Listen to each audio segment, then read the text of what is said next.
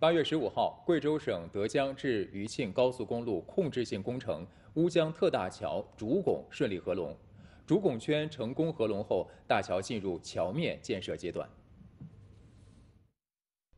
乌江特大桥位于贵州凤冈县、思南县、石阡县三地交界处，全长一千八百三十四米，主桥跨度五百零四米。它是我们目前呢世界上。最大跨境的上层式钢管混凝土拱桥，同时也是世界上的首座全双节的桥梁。乌江特大桥主拱类由六十个拱类节段组成，最大的节段长十七米，重达一百五十七吨。单节钢拱类从重庆东港船厂经长江沿乌江水道，通过水运到达施工现场。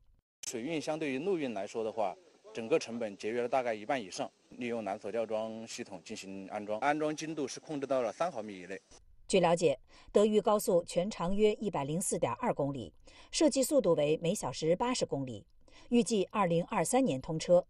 通车后将串联起德江、思南、凤冈、石阡、余庆五线。